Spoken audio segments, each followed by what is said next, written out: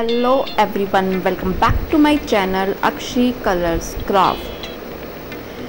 Today I am going to present physics project file on topic dual nature of matter and radiation.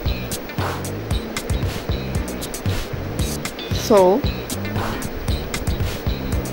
let's start.